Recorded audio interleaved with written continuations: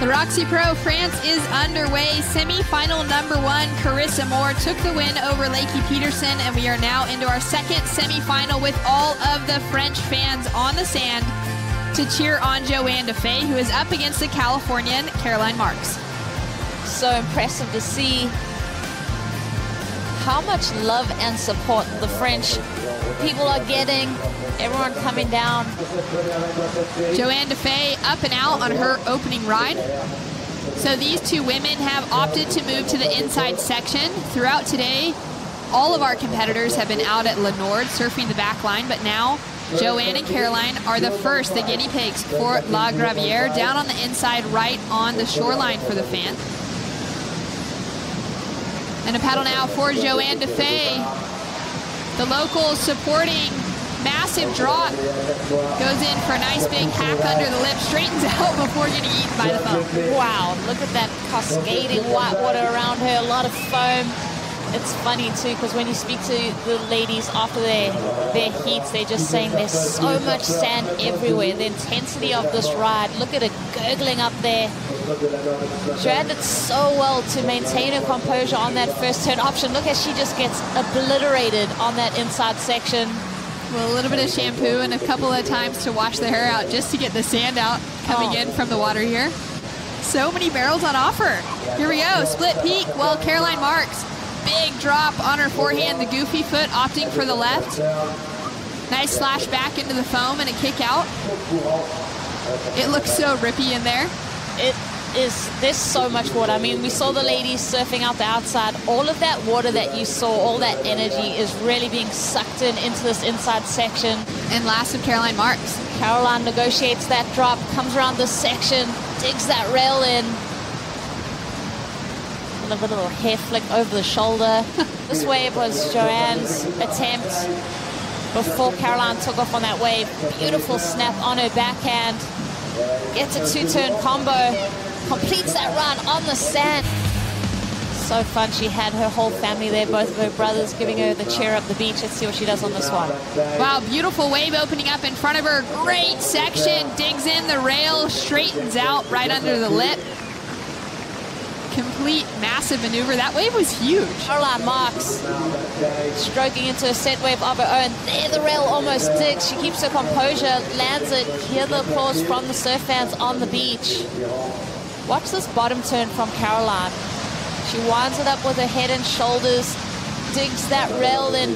Right there it catches. She keeps her composure. It's that low center of gravity. She's over the stringer of her surfboards and she completes that move.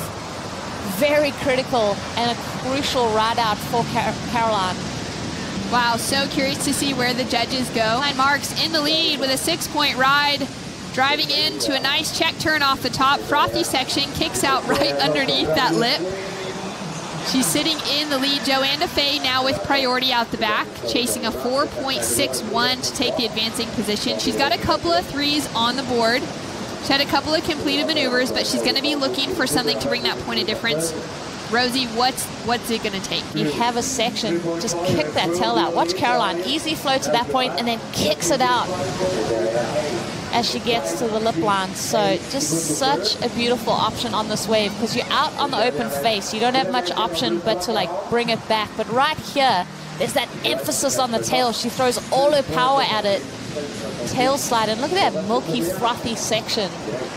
I think Caroline right there, she matched the power of that wave. She knew that that wave was going to push back at her. Even though she, though she was out, far out on that open face, it still had that push to it. Surfing and, um, you know, the world title's still there, so I'm not going to count myself out until it's done. Appreciate your time and, of course, making for an ex exciting year. Yeah, and um, congrats, Carissa. She was surfing really well, and I respect her a lot, so great job to her. During the break, Caroline Marks. Caroline heads to her trusty backhand again. Late hit to the lip. Watch as she free falls out of this lip line. So beautiful, like we mentioned, that low center of gravity. Loses connection with that wave, manages to maintain her feet on her board. A hero. So deep. Now on her backhand. Beautiful maneuver there for Johanne. For a split second, Johanne Defay found a wave, hunts down the tube. Johanne Defay pulling into the closeout. Johanne Defay with the support from the crowds ducks out under the barrel. Six minutes, 45 seconds on the clock. She's still chasing that excellent score to advance. Yeah, Johanne. Gonna, desperation is going to set in. Watch her go under this one. For those women, Carissa and Lakey were surfing out the back. And Johanne having a look. Under priority, takes a steep drop. The crowd goes wild, but that wave doesn't open up for her. I love that about Johanne, though. She's not afraid to give it a nudge. That wave was reeling down the line. Had to take that late drop. She's going to take this one on the head. For Caroline Marks to advance into the finals is a great achievement after her last two appearances here in the Roxy Pro, knocking out in round two. For her now to make that comeback and get into the finals. So amazing. I'm so proud of all of the ladies competing in these conditions. Johanne Defay never giving up. This heat winding down. She's made the semifinals a great result for her too.